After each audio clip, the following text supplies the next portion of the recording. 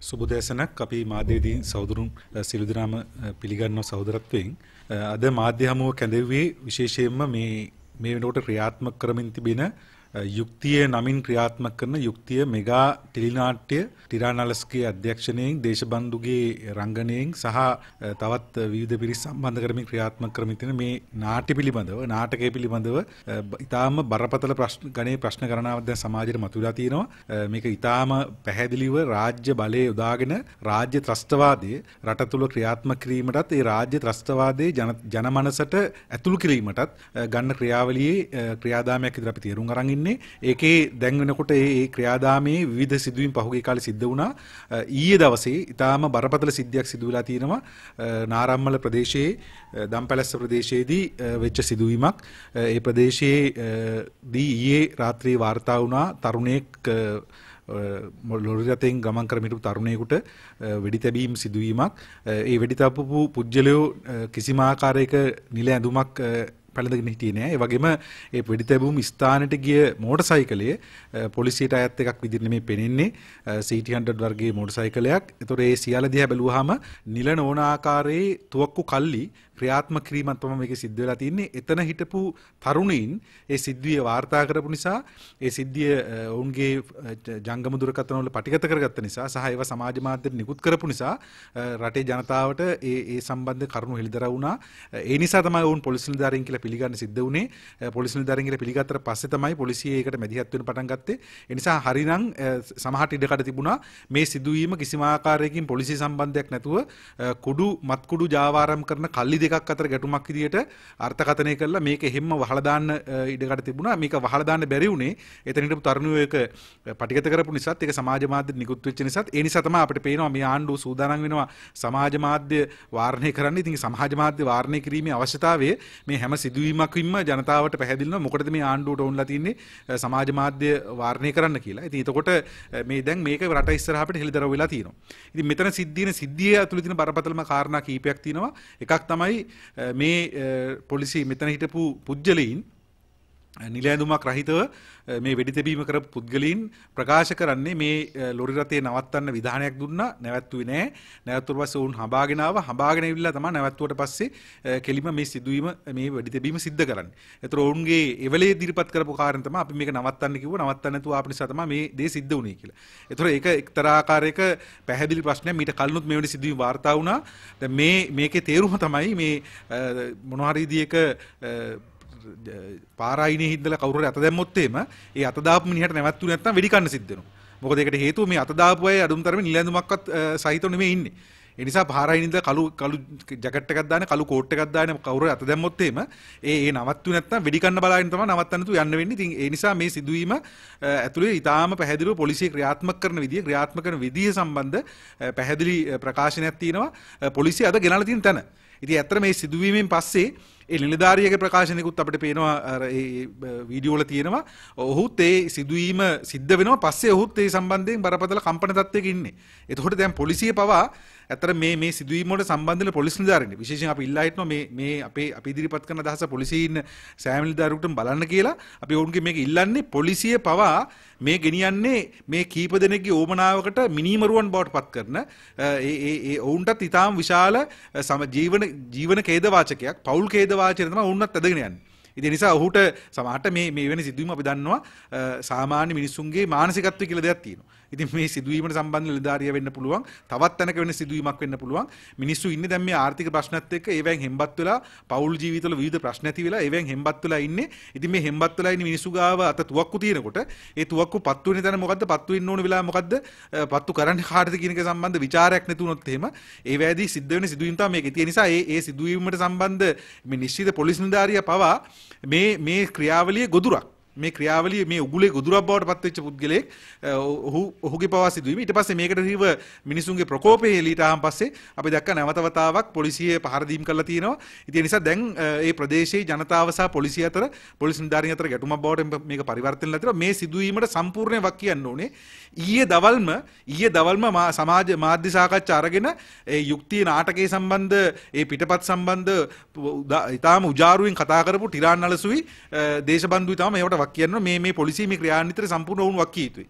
මොකද අපි එහෙම කියන්නේ අපි දැක්ක මේ මාධ්‍ය සාකච්ඡාවේදී මාධ්‍ය හමුවේදී ඔවුන්ගේ අර ඒ ඒ විවිධාකාර පණ්ඩිතමානී ප්‍රකාශ ඒ වගේම සමාජ ප්‍රජාතන්ත්‍රවාදයට තර්ජනයාත්මකව ඉදිරිපත් කර ප්‍රකාශ අපි දැක්ක ටිරාන් නලස් කියනවා මට මේ ජාතිය මේ මානවිකම් කොමිසමෙන් UN එකෙන් ඇවිල්ලා තියෙනවා ලියුම් මගේ ලියුම් කුණු විසික් කරා කියලා.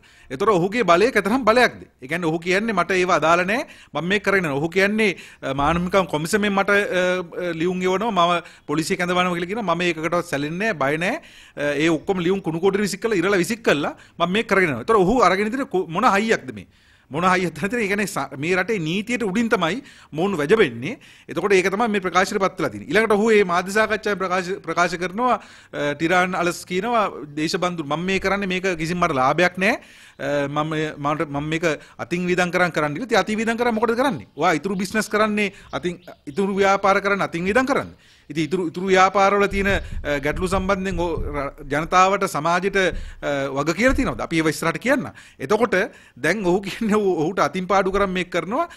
ඊට පස්සේ දේශබන්දුත් එහෙම කරනවා. දේශබන්දුර ඕන නම් මේක ඉවත් කරාට පස්සේ පොලිස්පති ධූරය දුන්නේ නැත්නම් ඔහුට පුළුවන් මේ තනතුරු ඉවත්ලා දේශපාලනට යන්න. අපි හිතන්නේ අමුතුවෙන් දේශපාලනට යන්න දෙයක් නැහැ. දැනටමත් ඔවුන් දේශපාලනය තමයි මේ කරමින් ඉන්නේ. දැනටමත් මෙවැනි අර මෙහෙයුම් වලට නම් දාලා මේ සමාජයට බීතියක් අරගෙන ඇවිල්ලා මේ මෙහෙයුම් වල දවස ගානේ ප්‍රචාරක ව්‍යාපෘති හදමින් මේ කරමින් ඉන්නේ මේක ප්‍රචාරක ව්‍යාපෘතිය.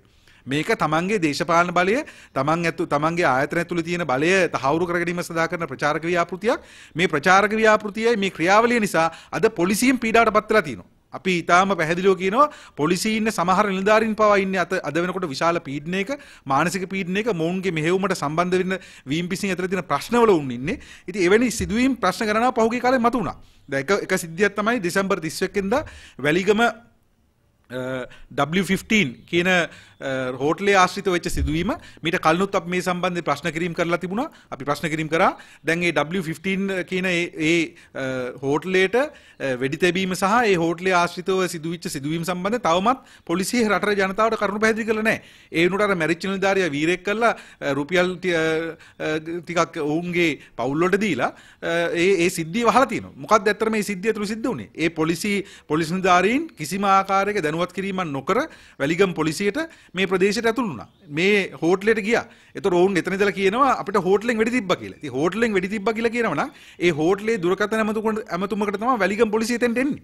වැලිගම් පොලිසිය කැඳවන්නේ මේ ගිය නිලධාරීන් නෙමෙයි මේ කියන මෙහි කොළඹ ඉඳලා මෙහෙයුමට ගියා නෙමෙයි කැඳවන්නේ. ඒතර වැලිගම් පොලිසිය කැඳවීම කරන්නේ අදාළ හෝටලෙන්. ඒතර හෝටලෙන් වෙඩි තියලා හෝටලෙන්ම පොලිසියට කතා කරලා කියනවා අපි බේරගන්න එන්න කියලා. එහෙමද ඒක උනේ? ඒ කියන්නේ පැහැදිලි කරන්න ඕනේ. ඊළඟට ඒ වෙඩි තැබීම කරනකොට පොලිසියෙන් ගියාට පස්සේ පොලිසිය ඊට පස්සේ මේ අදාළ පුජ්‍යලින්ට වෙඩි තබනවා. ඇත්තටම ඒ වෙඩි තැබීමෙන් තමයි මේ අනතුරු වෙලා තියෙන්නේ කියලා අපිට උපකල්පනය කරන්න වෙන්නේ. එතකොට ඒ ඒ වෙඩි තැබීම කර අඩුම තරමේ ඒ වෙලාවත් මොවුන් පැහැදිලි කරන්නේ අපි ආවේ මේ හාවල් තැන ඉඳලා අපි ආවේ මේ මෙහෙයුමකට කියලා. නැත්නම් අපිට මේ මෙහෙයුමක් බාර දුන්න ඒකට තමයි ආවේ කියලා. ඒ කිසිම දෙයක් නැහැ. ඔවුන් පොලිසියත් එක්ක වෙඩි වෙඩි හුමාරුවක් සිද්ධ වෙනවා. ඊට පස්සේ ආපහු ඔවුන් ඒ වෙඩි හුමාරුවෙන් පස්සේ ඔවුන් පලායනවා. එතනින් පලායන උත්සාහ කරනවා. ඒ පලායාමේදී ඒ වෙනකොටත් ඒ පලායන රථය පාවිච්චි කරපු රථය ඒකට තියෙන තහඩුව නැත්තං ඒක පාවිච්චි කරපු වාහනේ ලියාපදිංචි තහඩුව ඒ ඒක විකෘති කර නැත්තං ඒක වෙනස් අංකයක් පාවිච්චි වාහන අංකය වෙනස් එකක් පාවිච්චි කරා කියලා දැන්ට තොරතුරු වාර්තා වෙලා තියෙනවා. එතකොට ඒ පලායම කරනකොට ඒ ගාලු ප්‍රධාන අධිවේගී මාර්ගයේ ඒක ස්ථානකින් ඇතුල් වෙන උත්සාහ කරද්දී ඒ වෙනකොටත් පොලිසි ගණනාවකට මේ මෙසේජ් එක ගිහිලා තිබුණා. මේ පණිවිඩය ගිහිලා තිබුණා. එතෙන්දි තමයි මේක මේ වාහනේ නතර කරන්නේ. ඒ නතර කරාට පස්සේ එතෙන්දි කියනවා ඉහළ නිලධාරියෙක්ගේ ඇමතුමක් ආවා කියලා එම ස්ථාන හිටපු ඒ අදාළ එක්සිට් එක බාර හිටපු නිලධාරියට ඇමතුමක් ආවා කියලා. ඒතොර ඒ කවුද ඉහළ නිලධාරිය කියලා තවමත් පැහැදිලි කළා නැහැ. කවුද ඉහළ නිලධාරිය කියලා. ඊට පස්සේ තමයි ඇත්තටම මේ වෙඩි වෙදිච්ච නිලධාරීන් දෙන්න අරගෙන මේගොල්ලෝ කොළඹෙන් හදන්නේ.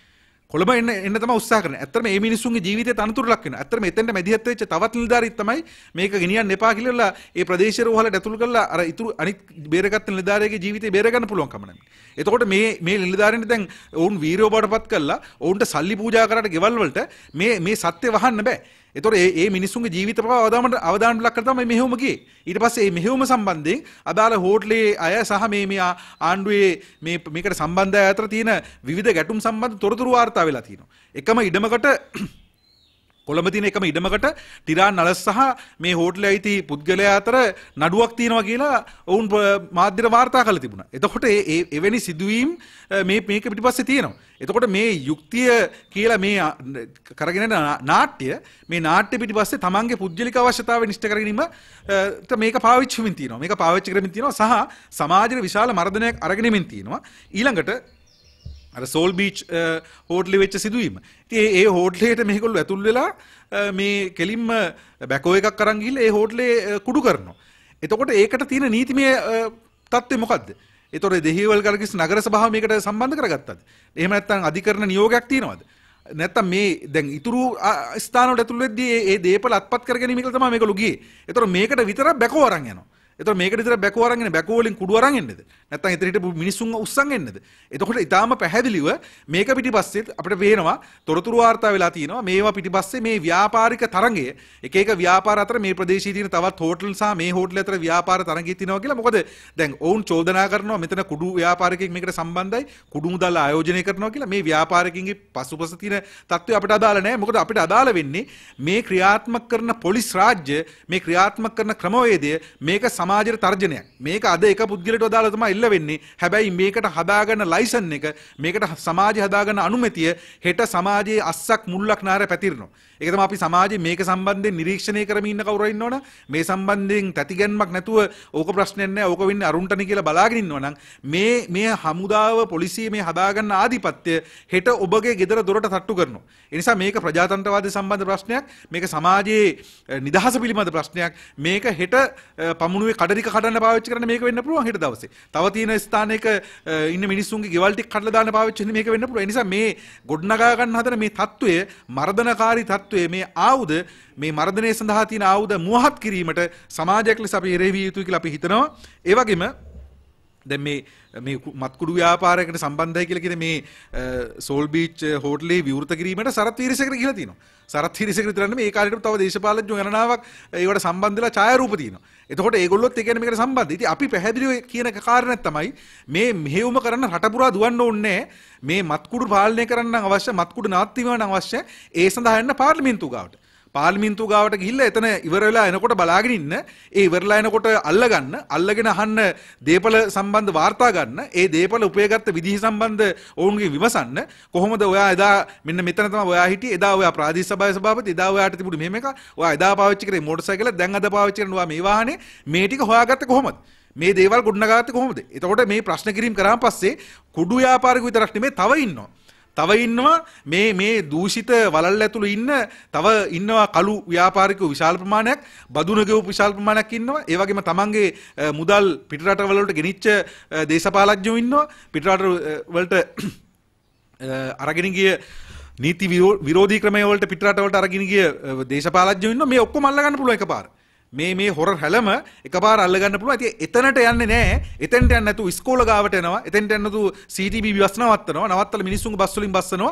මේ රට පුරා විගඩමක් කරනවා. මේකට සම්බන්ධ මුල් වලට මුදුන් මුල් සම්බන්ධයෙන් මේක මේ මුදුන් මුල් වලට නැත්තම් මේකේ මේ කුඩු ලංකාවට ගෙන්නන සෙට් එක සම්බන්ධ සියලු දේවල් තොරතුරු ඔවුන් සතු තියෙද්දි රට පුරා නාටකමක් පෙන්වනවා. රටපුරා නාට්‍යයක් පෙන්වනවා. ඉතින් මේ නාට්‍ය ඒගොල්ලෝ හිතන ඇති ඒක නාට්‍යයෙන් ජනතාව ඒකට ඊටාම මේ මේ නාට්‍යයට සතුටු වෙනවා කියලා ජනතාවින් නියම තරන්නේ මේ කැරට් රුපියල් 2000ට අරගෙන බෝංචි රුපියල් 1500ට අරගෙන කණ්ඩ බොණ්ඩ විදියක් නැතුව ඉන්න ජනතාවට මේ වගේ නාට්‍ය වලින් දුවන්න බෑ.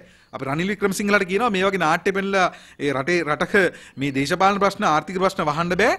ඊළඟට දැන් අපි දැක්ක මේක ඒ ඒක සිදුවීමක් ඔය සෝල්බී චෝට්ලි සිදුවීම ඊළඟට පහුගිය දෙසැම්බර් 6 වෙනිදා වාර්තා වුණා තවත් සිදුවීමක්. දෙසැම්බර් 6 වෙනිදා පෑලියගොඩ හයිවේ එකට නැත්නම් හයිවේ එකේ එක්සිට් එකට එනවා තොරතුරක් ආයුධ සහිත වාහනයක් එනවා වාහනේ නම්බර එනවා මේක පරීක්ෂා කරන්න කියලා. ඊට පස්සේ ඒ පරීක්ෂා කිරීම සම්බන්ධයෙන් සූදානම් වෙද්දී ඒක වළක්වනවා. ඊට පස්සේ ඒක පරීක්ෂා කරා කියලා එතෙන්ට ආපු ඉහළ නිලධාරියෙක්. එතන ඒ වෙනකොට ක්‍රියාන්විත හිටපු නිලධාරියා නෙමෙයි පොලිස් නිලධාරියා නෙමෙයි. එතෙන්ට ආපු ඉහළ නිලධාරියෙක් පරීක්ෂා කරා කියලා ඒ පොත්වල සටහන් කරා කියලා වාර්තා වෙලා තියෙනවා. දැන් මේනට ඒක අධිකරණයට ඉදිරිපත් වෙලා තියෙනවා ඒ කරුණු. එතකොට ඊට පස්සේ මේ මේ සිද්ධියට සම්බන්ධ ඒ මුරපොළේ හිටපු පොලිස් නිලධාරියා ඔහු රුවන් කුමාර් රුවන් කුමාර ඔහු ඊට දවස් තුනකට පස්සේ සීදිනසා ගන්නවා.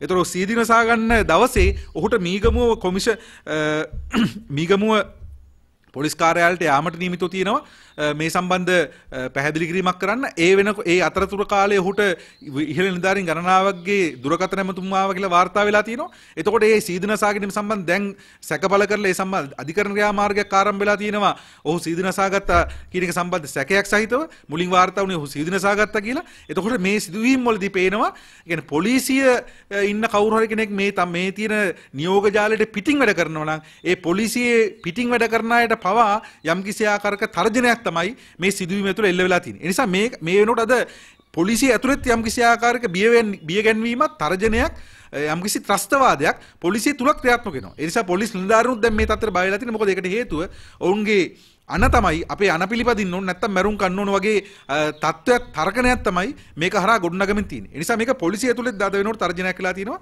එතකොට මේ තර්ජනය කරමින් ඉන්න ටිරාන් නලස්ලගේ පැටිකිරීම මොකක්ද? හරි. මේ තර්ජනය කරන ටිරාන්නලස් ලංකා බැංකුවට ණයක් තියෙනවා මිලියන 1750ක ණයක් තියෙනවා. ඒ ණය සම්බන්ධ තොරතුරු වාර්තා වෙලා තියෙනවා. ඒ ණය වාරිකය ගෙවන්නේ නැහැ. ඒ ණය වාරිකය ගෙවල නැහැ ඒක බොල් ණයක් විතර තවමත් තියෙනවා. ඒ මිලියන 1750 බිලියන 1.75ක ඒ ණය වාරිකයේ පැහැර අරමින් ඉන්න පුජ්‍යලෙක් තමයි මේ මේ කතා කරන්නේ. එතකොට ඒ ඒ ණය වාරිකය සම්බන්ධ ලබා දීපු ඉඩම බත්තරමුල ප්‍රදේශයේ ඉඩමක්.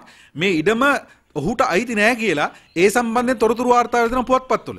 ඒ සම්බන්ධයෙන් මේ ඔහුගේ ඔහුගේ පුද්ගලික අයිතිය සම්බන්ධ අයිතිය සම්බන්ධ ප්‍රශ්න මතුවලා තියෙනවා කියලා. එතකොට Tamanට අයිති නැති ඉඩමක් බැංකුවට තියලා ණය අරගෙන ණයත් නොගෙව ඉන්න පුද්ගලෙක් තමයි දැන් මේ රට සුද්ධ කරන්න හදන්නේ. රටේ මේ මේ හදන් නීතිය ආධිපත්‍ය හදනවා කියලා කියන්නේ ඊළඟට අපි පහුගිය කාලේ පැහැදිලිව චෝදනා කරා ඔහු ඒ සම්බන්ධ තවමත් ප්‍රතිචාර දක්වලා නැහැ පුවත්පත්වල මේක වාර්තා වුණා බ්‍රිටිෂ් වර්ජින් අයිලන්ඩ් වල ඔහු කළු සල්ලි ආයෝජනය කරලා තියෙනවා කියලා අපි පැහැදිලිව චෝදනා කරා. ඔහු බ්‍රොම්ටන් කියන ලිමිටඩ් කියන ආයතනයත් ඒ වගේම බැන්හැම් වෙන්චර්ස් කියන ලිමිටඩ් බැන්හැම් වෙන්චර්ස් ලිමිටඩ් කියන ආයතනයත් මේ ආයතන දෙක හරහා ඔහුගේ මුදල් ආයෝජනය කරලා තියෙනවා කියලා පහුගිය අවසරේ අවසාන නිකුත් වෙච්ච පැන්ඩෝරා පේපර්ස් වල මේ සම්බන්ධ වාර්තා වෙලා තියෙනවා. එතකොට මේ සම්බන්ධ වාර්තා කරලා තිනවා ICIJ කියන ජාත්‍යන්තර ගවේෂණාත්මක මාධ්‍යවේදීන්ගේ සංසදය මේ සම්බන්ධ කරුණු හෙළිදරව් කරලා තිනවා. මීට කලිනුත් මේ මාධ්‍යවේදී සංසදය තමයි කරුණු හෙළිදරව් කරේ. නිරූපමා රාජපක්ෂගේ මෙවැනි මුදල් ආයෝජන සම්බන්ධ තොරතුරු හෙළිදරව් කරේ මේ මාධ්‍යවේදීන්ගේ සංසදය. එතකොට එදා ගෝඨාභය රාජපක්ෂ මේකට කමිෂන් එකක් දැම්මා. දැන් මේ සම්බන්ධ තොරතුරු වාර්තාලාවේදී රන්ලි වික්‍රමසිංහ අඩුම්තරම මේකට කමිෂන් එකක්වත් දාන්නේ.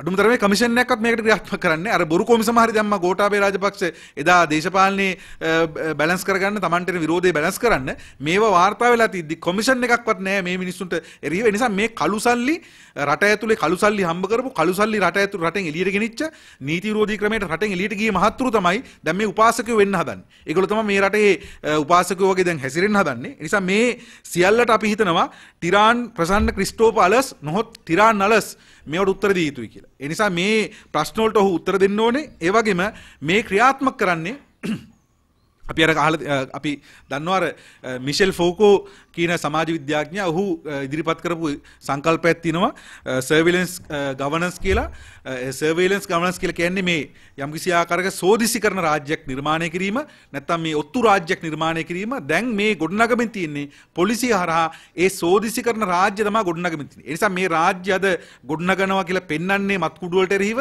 නමුත් ඒවා ඒ මත්කුඩු සම්බන්ධ නෙමෙයි අත්‍තරම ඔවුන්ගේ අවශ්‍යතාවය තියෙන්නේ මේක අනුකූල කරගන්න. මේ తত্ত্বය සමාජයට කිදා බස්සන්න. මේ සමාජයට මේක එන්නත් කරන්න. නිසා මේ තත්ත්වය හෙට තවත් දේශපාලන ව්‍යාපාරවලට එරෙහිව හෙට මැතිවරණ ව්‍යාපාරවලදී මේ හැම එකකදීම මේක පාවිච්චි කරන්න සූදානම් වෙනවා. නිසා අවාසනාව තමයි මේක සම්බන්ධ වචනයක්වත් කතා නොකරන විපක්ෂයක් තියෙනවා. ඒකත් මෙතනදී ලොකු ප්‍රශ්නයක්. අපිට පේනවා සමහරුන්ට පාගමන් යන්න පුළුවන්. සමහරුන්ට මේ 138 පාර දිගේ පාගමන් ඇවිල්ලා රැලි කරන්න දෙනවා. හැබැයි අපි දැක්කා ඊයේ පෙරේද දවස් දෙක තුනේම අන්තර් විශ්වවිද්‍යාල ශිෂ්‍ය බල මණ්ඩලයට පහර දෙනවා උද්ඝෝෂණයේදී. ඊට පස්සේ අනධ්‍යන සේවකින් පොලිසියට පහර දෙනවා ඒ පොලිසිය ඒවට පහර දෙනවා. හැබැයි සමහරුන්ට කිසිම ප්‍රශ්නයක් නැහැ. ඔවුන්ට නිදහසේ රැලි පෙළපාලි ගිහිල්ලා පාරවල් පෙළපාලි ඕන තරම් ගිහිල්ලා රැස්වීම කරන්න ඒ සියලු නිදහස ලබා දීලා තියෙනවා. ඉතින් එතකොට අපිට පේනවා මේක යම් කිසි ආකාරයක එක ජාලයක් විදිහට තමයි මේ සියල්ල ක්‍රියාත්මක වෙන්නේ.